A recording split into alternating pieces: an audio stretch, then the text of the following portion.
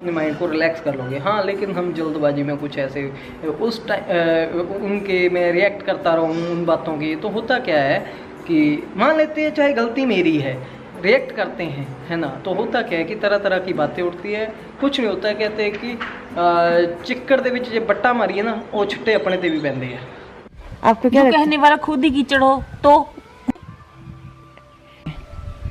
बस आजकल जमाना ही है भाई उन्हें सहन कर लो चुप रहो जो अगर आप चुप रहोगे ना हम्म। तो आपके भगवान भी सुनेगा। हम्म, अगर आप बोलोगे तो भगवान कहता आपने तो बोलकर बदला ले लिया तो मैं आपकी मदद नहीं कर भगवान को तो पता है जो कौन गलत है कौन सही है। आपको बोलने से कुछ नहीं आपको पता है? कीचड़ में और वहाँ डालोगे तो आप कीचड़ में कीचड़ के छींटे पड़ेंगे।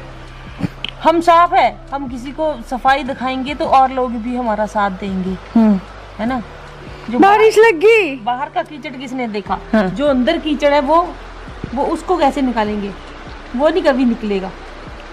वो दूसरों के ऊपर ही कीचड़ उछालेगा उसका खुद का कीचड़ नहीं ना निकलेगा, अंदर का गंद वो दूसरों को ही बुलाएगा तो इसी के साथ हम इस व्लॉग को इधर ही एंड करते हैं और मम्मी हमारी अकेली हो जाएगी जब मैं चली जाऊँगी।